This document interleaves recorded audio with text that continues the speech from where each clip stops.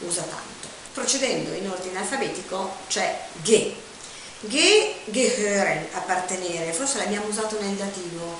Uh, dieser, diese Wohnung gehört, appartiene, unseren Nachbarn, ai nostri vicini, gehören, anche questo è inseparabile, composto di hören, che vuol dire sentire.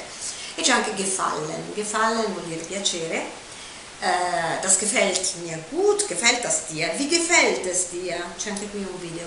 Piacere, um, un piacere estetico, non certo un piacere al gusto che è schmecken.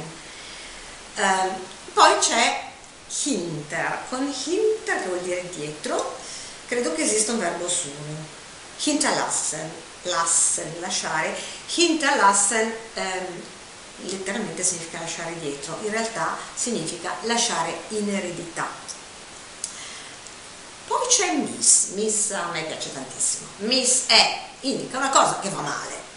Quindi uh, gelingen, a proposito col G vuol dire riuscire bene, da Kuchen ist mir gut gelungen, la torta mi è riuscita bene, e Misslingen è, è riuscita alla schifezza, è riuscita male. Um, Glauben, credere, misglauben è non credere, miscredente, è molto carino, c'è anche in italiano, fatto, misfatto, eh, anche in italiano c'è una valenza negativa, eh? ehm, credente, miscredente e anche in inglese. To understand, misunderstand, che è fraintendere, c'è anche in tedesco. Verstehen, hast du verstanden, hai capito? Ich verstehe dich gut, capire bene.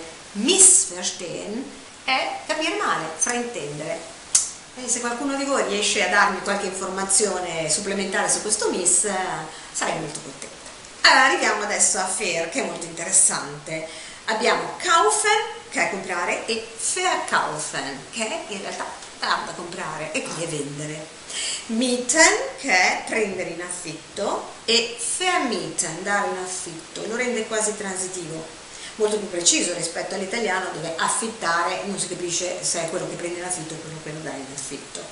E poi fair è molto carino perché anche lui dà l'idea di una cosa che si sbaglia. Esempio laufen, che andare a piedi, corre. Ich habe mich verlaufen. Oh mamma mia, mi sono sbagliato, ho sbagliato strada andando a piedi. Perché se lo faccio con una macchina, ich habe mich verfahren. Eh, ho sbagliato strada con un mezzo Rechnen, ad esempio, che fare i conti giusti, ich habe mich verrechnet, ho sbagliato facendo i conti, c'è sempre un'idea di errore, di sbaglio in questo fair.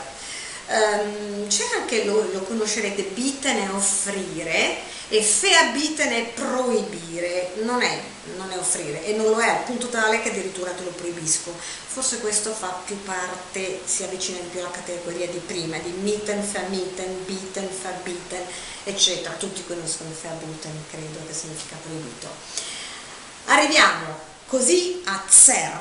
Zer vuol dire mille pezzi allora, reißen è stracciare, se io faccio ad esempio così, è serra, è reißen, ma se io faccio così e poi così e poi così, è zerreißen. Zer. Also, das wäre alles für heute und entschuldigt mich, scusatemi, entschuldigt mich, entschuldigen, so entschuldigt mich, wenn ich etwas vergessen habe. Se ho vergessen, anche questo è separabile, se ho vergessen, dimenticato qualcosa. Tschüss!